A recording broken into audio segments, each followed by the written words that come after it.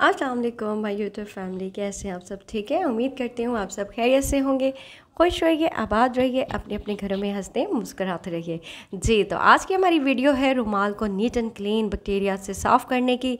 तो किस तरह से करना है, कैसे करना है, पूरा गाइड करूँगी स्टेप बाय स्टेप बताऊँगी आपको, जिससे आपको बिल्कुल मेहनत नहीं करनी पड़ेगी किसना नहीं पड़ेगा, कुछ भी नहीं करना पड़ेगा और झट झटपट जल्दी से आपके रुमाल बिल्कुल साफ़, नीट एंड क्लीन हो जाएँगे। जी हाँ बैक्टीरिया बैक्टीरिया फ्री हो जाएँगे, क्योंकि हम उसमें रोटियाँ रखते हैं, खानों में भी अक्सर इस्तेमाल होता है, कुछ भी रखें, गर्म रहती हैं, रोटियाँ हमारी हार्ड पार्ट में रहती हैं और हार्ड पार्ट में पड़े रहने की वजह से, बंद रहने की वजह से भी बैड किस्म की, बुरी किस्म की स्मेल आती है।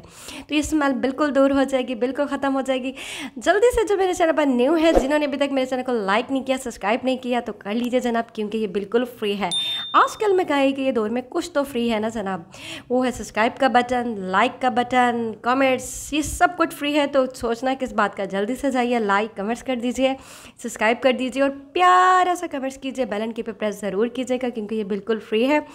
तो चलते हैं अपनी वीडियो की तरफ़, शुरू करते हैं अल्लाह के पाक नाम से मास्टर किचन में खुश आमदीद है आपका। तो ज़्यादा बातें नहीं करते वीडियो का आगाज़ करते हैं। सबसे पहले आए मैं हॉट पॉट की तरफ़। इसमें से मैं रुमाल निकालूँगी कि कुछ दिनों से मैंने भी नहीं वॉश किए थे, क्योंकि मैंने वीडियो बनानी थी, इसीलिए मैंने वन वीक से उनको वॉश नहीं किया। हुआ है हालत अब देख रहे हैं, गंदे हो रहे हैं। और इसमें से हल्की हल्की सी स्मेल भी आ रही है। ज़ाहिर रोटियाँ रखते हैं, रोटियाँ रखने के बाद ये हॉट पॉट में पड़े रहते हैं। तो स्मेल भी आती है, बंद पड़े पड़े कपड़े में से भी गीली रोटियों को जब पसीना आता है तो स्मेल आना शुरू हो जाती है। सबसे पहले हमने कढ़ाई में पानी ले लिया। हुआ है कुछ भी नहीं डालना, आपने खाली पानी ले लेना है। पानी ले लिया है हमने, पानी हम चूल्हे पे रख देंगे इसको, खाली पानी। जी हाँ जी, उसी कढ़ाई में जो काली कढ़ाई थी हमारी, उसमें हमने जनाब पानी डाला है। पानी के बाद हमने ये रुमाल डाल देने हैं। जी हाँ ये दोनों रुमाल डाल दूँगी। बाकी मैं वॉश कर चुकी थी। ये दो रुमाल हैं जो रह गए थे, जो मैंने रखे हुए थे वीडियो बनाने के लिए तो मैंने कहा अपलोडिंग करूँगी तो आप लोगों को भी दिखाऊँगी कि रुमाल किस तरह से धोते हैं। क्योंकि ये बहुत ज़्यादा मुश्किल लगता है सब खवतिन को, मेरी बहनों को, रुमाल धोना एक दर्द सर होता है, लेकिन अब से नहीं होगा। सिर्फ़ पानी में हमने डाला, ये देखिए पानी को जोश आ रहा है। मैक्सिमम मैक्सिमम इसको सिर्फ़ पाँच मिनट के लिए आपने खाली पानी में बॉयल करना है। जी हाँ पाँच मिनट। जैसे कि आप देख रहे हैं, पाँच मिनट हो चुके हैं पानी का कलर चेक कर ले जनाब, आप येलो येलो सा कलर इसका हो गया हुआ है। ये देखिए, और चम्मच से आपने लकड़ी का चम्मच याद रखिएगा आपने इसमें यूज़ करना है, दूसरा चम्मच नहीं यूज़ करना। और चूल्हा भी इतना फुल नहीं कर देना कि आपका लकड़ी का चम्मच भी जल जाए, मेरा भी साइड से थोड़ा सा जला हुआ है। लेकिन मैं नहीं चाहती कि आपका भी जले, डोई वगैरह चम्मच तो सब घर में होते हैं लकड़ी के। तो इससे आपने डरना है, अब इस पानी को मैं ड्रेन कर लूँगी फेंक दूँगी इस पानी को। अब जैसे कि शेंग की तरफ़ आए ये देखिए पानी का कलर चेक करें। किस तरह का हो रहा है? येलो किस्म का हो रहा है, इसको मैं गिरा दूँगी। गिराने के बाद मैं इसमें साफ़ न्यू पानी डालूँगी। तो चलते हैं, इसको हमने साफ़ पानी डाल दिया हुआ है। ये देखें, बिल्कुल साफ़ पानी है, कढ़ाई हमने फुल कर ली है पानी की। थोड़ा सा कम किया है, दो इंच जितना। उसमें हमने लिए दो चम्मच भर के ले लिए हमने सर्फ कोई सा ले लीजिए, नमक ले लिया है, सोडा ले लिया है। जी हाँ खाने वाला सोडा। कोई दूसरा सोडा नहीं लेना, खाने वाला सोडा ले लेना। ये तीनों चीज़ें हमने डाल दी हैं जी। कढ़ाई के अंदर, उसी पानी में, जिस पानी में हमने रुमाल डाले थे। अब हमने क्या करना है, इसको दोबारा से हमने चूल्हे पे रख देना है।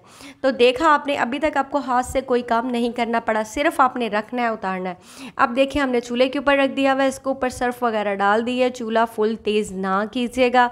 वो इसलिए कि जब ये इसमें सर्फ डाला है, बबल्स बनेंगे, बॉयल होगा, जैसे दूध को जोश आता है ना, बॉयल होता है, गिर जाता है, सारा चूल्हा भर जाता है, गंदा हो जाता है। तो ये भी इस तरह से सर्फ है इसके अंदर, मीडियम चूल्हा रखना है आपने तेज़ चूल्हा बिल्कुल नहीं रखना क्योंकि ये जोश होगा। उबलेगा, उबलने के साथ ये गिर जाएगा, आपका साफ़ किया हुआ चूल्हा गंदा हो जाएगा, पानी पानी हो जाएगा और चूल्हा पे बिल्कुल बुझ जाएगा और आपको डबल मेहनत करनी पड़ेगी। तो हमने डबल मेहनत नहीं करनी है। ये देखें आप आपको नज़र आ रहा है, पानी बॉयल हो रहा है। पाँच मिनट के बाद ही बॉयल होना शुरू हो गया। अब मैं इसका चूल्हा बिल्कुल मीडियम पर रख दूँगी, लेकिन मेरा मीडियम पे ही है। वो बैक साइड की गैलरी का मैंने दरवाज़ा खोला हुआ है, जनाब, जिससे ठंडी ठंडी हवाएँ आ रही हैं और चूल्हा को भी हवा लग रही है मतलब सेक बहुत कम लग रहा है। तो ये देखिए जनाब, किस तरह से हमारा पानी जोश में आ रहा है, लेकिन आपने लकड़ी वाले वो जो चम्मच होता है ना, उससे आपने इसको ऊपर नीचे से करना है, ये देखें। अगर मैं इसका चूल्हा ज़्यादा तेज़ करूँगी तो ये उबल के बाहर आ जाएगा और ये सारा गिर जाएगा। तो हवा की वजह से चूल्हा चढ़े आपको मौसम दिखाती हूँ। माशाला से कितना खूबसूरत मौसम है, बादल है ठंडी ठंडी हवा चल रही है। और ये देखिए जी, ये बिल्कुल जोश में आ चुका है पानी और सारा मुझे लगता है कि बैक्टीरिया वगैरह हर चीज़ निकल चुकी है। ये देखिए कितना गंदा पानी हो गया है, बैक्टीरिया भी इसमें चले गए हैं।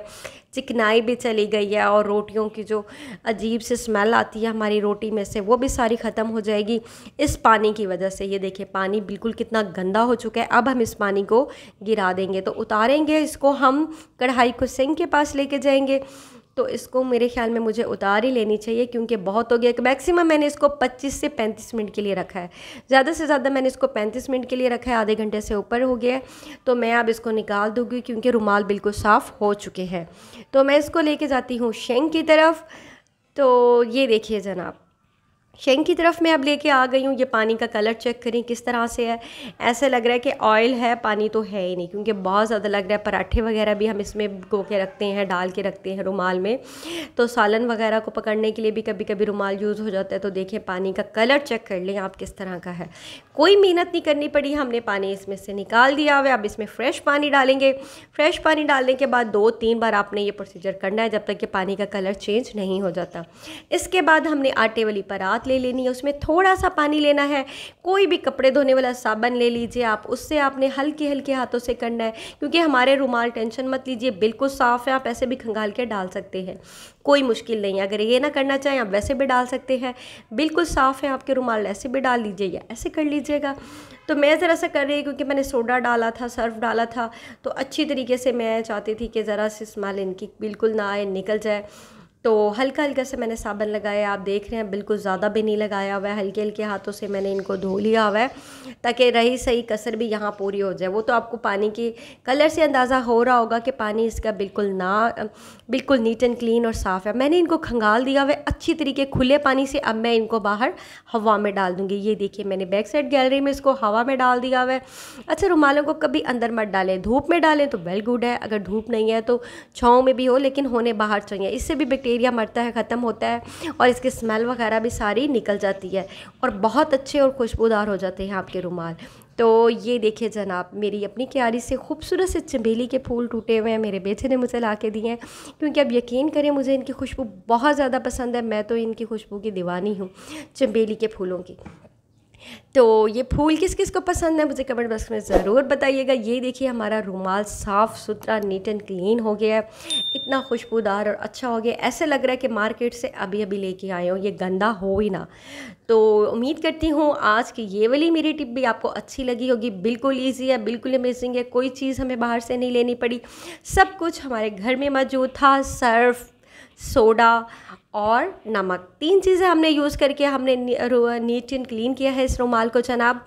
तो इसके साथ ही उम्मीद करती हूँ आपको मेरी आज की वीडियो भी बहुत अच्छी लगी होगी फ्री ऑफ़ कॉस्ट और अपना और अपने प्यारों का रखिएगा बहुत ज़्यादा ख्याल। तो मुझे इजाज़त दीजिए। नेक्स्ट वीडियो में आपसे मैं दोबारा से मिलूँगी।